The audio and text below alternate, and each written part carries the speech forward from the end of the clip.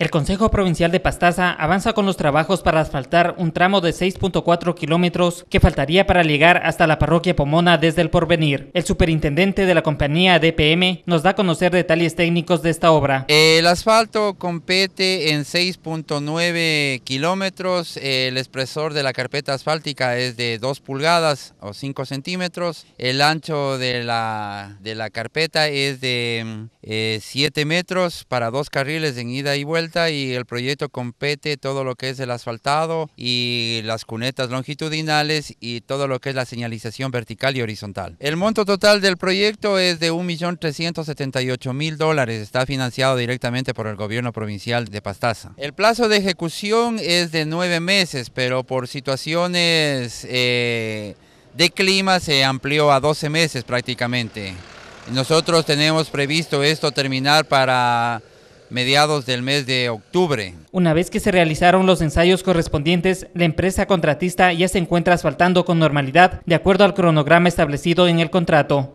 Sí, actualmente la compañía se encuentra ejecutando normalmente de acuerdo al cronograma, se, está controlando todo lo que está dentro de las especificaciones técnicas. Tenemos ya un tramo tendido lo que es la, parte de su base y, la base ya lista para, para ser tendida ya el asfalto.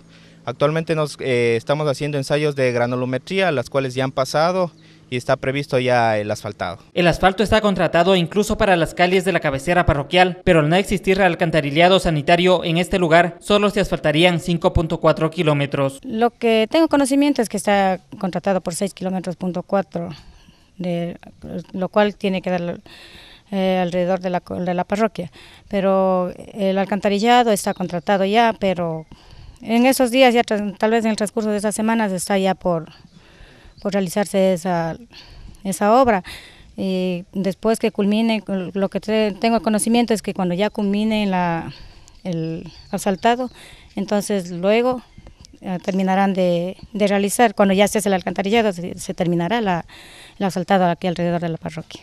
Con esta obra no solo se beneficiará Pomona, sino también varias comunidades de este sector. Eh, aproximadamente a 300 habitantes eh, de la parroquia, lo que incluye cuatro comunidades, incluida la parroquia, que está Libertad, la comunidad de Porvenir, Indichuris y y la cabecera parroquial. Los transportistas se encuentran satisfechos ya que mejoran las condiciones de vida, el turismo se incrementa con una vía de primer orden y se evitan daños a sus automotores. Está beneficioso para los moradores tanto de la parroquia Pomona y de Porvenir ya que eso para nosotros los moradores y muchos que trabajamos con turismo eh, hay bastante afluencia por la facilidad de transporte, por la facilidad de la vía, porque nosotros vemos que en lo que está avanzando la obra, bueno, está avanzando un poco lento, pero está, está quedando muy bien porque a cortas distancias, a corto tiempo y nos beneficia para los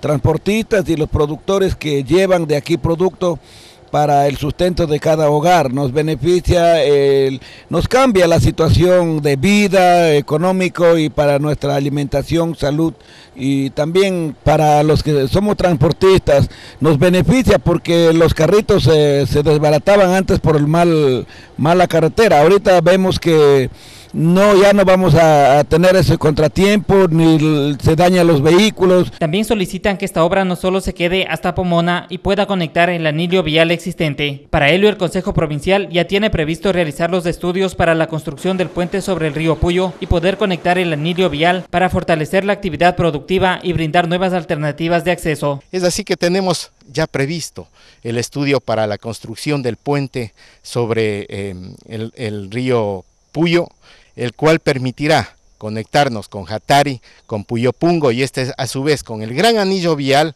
que corresponde a la, comunidad de San Jacinto del Pindo, que esta viene obviamente desde el puente eh, San José en la parte de Madre Tierra, que también está ya previsto el estudio para ese, ese, gran, esa gran conexión del anillo vial.